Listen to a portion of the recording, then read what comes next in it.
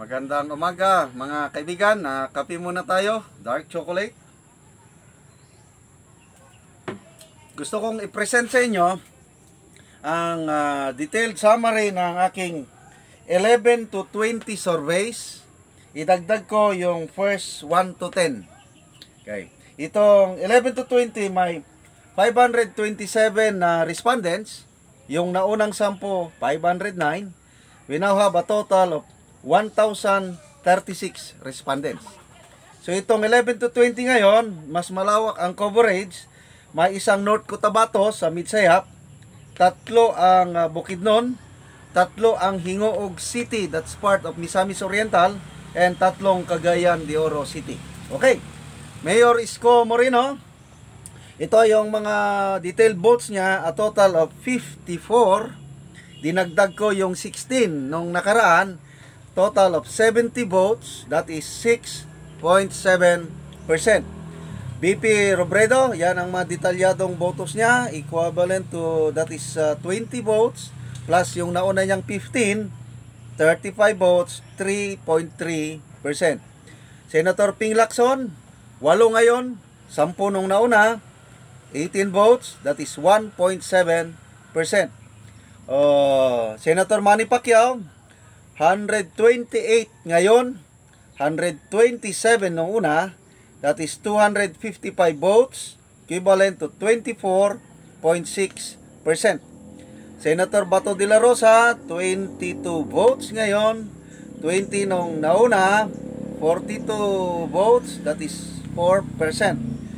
Uh, former Senator uh, Bongbong Marcos, 295 ngayon, 321 nung nauna, That is 616 votes, equivalent of 59.4%.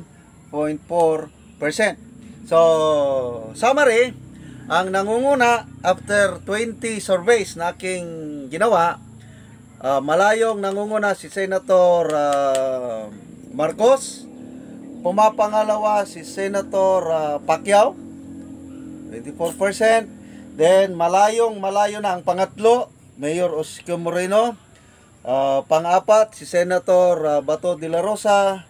Malayo na rin ang panglima.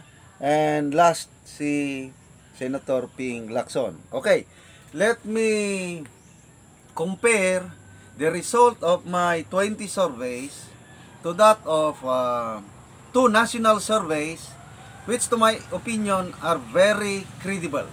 Ano ito? Manila Online Survey and Publicos Asia Incorporated Survey. Yung uh, Manila Online Survey conducted uh, itong second week of October, of the total respondents, uh, I think mga halos uh, 1 million, uh, less than a million uh, respondents, 70% pumili kay Bongbong Marcos nangunguna, pumapangalawa si BP Lene Robredo around 20%, And then yung remaining 10% pinaghati-hatian na ng apat. So malayo ang agwat. So dito uh, sa Mindanao after my 20 surveys nangunguna talaga si Bongbong Marcos consistent doon sa uh, Manila Online Survey. Kaya ang kaibahan sa Manila Online Survey Pumapangalawa si BP Robredo with 20%. Kaya lang, pagdating dito, wala na, malayo sa number 5. 3.3% ang layo. And to recall, sa vice presidential election noong 2016, uh, halos maraming, may mga areas dito sa Mindanao na na zero si Bongbong Marcos. Eh ngayon, lumalabas, ang lakas niya. Eh, si BP Robredo, malayo. Now, let's go to uh, si Senator Manny Pacquiao. Sa National Survey, Manila Online, malayo siya. Siya ang kulelat, number 6. Pagdating dito, pamapangalawa siya. Why? Because may mga areas na nasurvey ko sa Bukidnon na mataas ang kanyang uh, votes dahil naipanganak siya sa Bukidnon. So, that's the reason why. Punta na tayo sa pangalawang uh, credible uh, national survey, yung Publicos Asia. Ito ang pinaka-latest. Ang result is uh, 49% of the respondents, pinili nila si Bongbong Marcos at pumapangalawa si BP Robredo around 21%. So, consistent, nagkakatugma ang ah, Manila Bulletin at saka Publicus Asia Survey. Okay. So, sa Publicus Asia Survey, lumalabas doon na dito sa Mindanao, 62% ng mga Mindanaoans prepared Bongbong Marcos. So, yung 62% ng publikos, malapit na yung akin, no? 59%. Kakatugma. Again, yung validation ng 2016 presidential election na may mga areas na zero si Marcos ay parang question mark na kasi lumalabas ah, malakas si Bongbong Marcos dito sa Mindanao. Oh. Okay. Ah, I'd like to mention yung Bugwak TV. Ah, salute to my partner sa Bugwak TV. Sana magkita-kita tayo someday at nakakatuwa, nanonood din sila sa aking vlog. Okay. So, gusto kong magpaalam sa Bugwak TV ah, surveyors kung pwede i-summarize ko rin ng ganito yung inyo.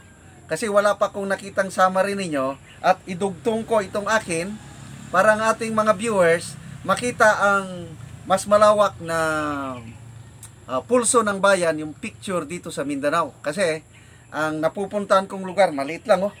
Mas saludo ako sa Bugwak TV dahil ala halos maikot na nila ang ah, maraming parte ng Mindanao. So gagawin ko yan with the permission of my friends sa Bugwak TV sa Cebu naman, merong nanonood sa aking vlog, yung Isla Culago vlog, something like that. So gusto ko na rin pagpaalam sa dati ang pa panahon, i-summarize ko yung resulta sa Cebu at idugtong ko dito sa Mindanao, yung sa amin ni Bugwak. So later on, magkakaroon tayo ng Mindanao Visayas na picture.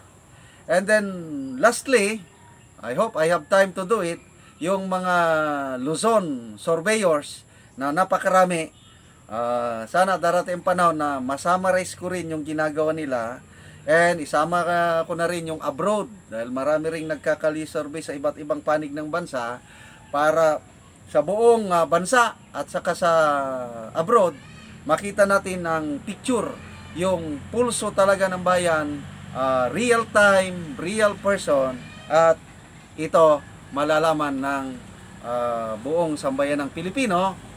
In this way, I truly believe na ito yung pangontra natin, panlaban natin sa mga grupo na nagbabalak mandaya o yung i-manipulate ang public opinion dahil sa mga surveys nila. Number one, Rappler. Pangalawa, Pulse Asia. Ah, and then mayroon pang newspaper na isa dyan na hindi ko muna panganlan. National newspaper. So, lalabanan natin ito. Dapat yung katotohanan lang ang lalabas para yung tunay na pulso ng bayan ay lalabas sa May 2022 election. Lalo na yung Smart Magic. Binabalaan namin kayo sa Smart Magic. Hindi nyo na magagawa yung ginawa nyo noon. So, yun lang po. Maraming salamat sa inyong panunod.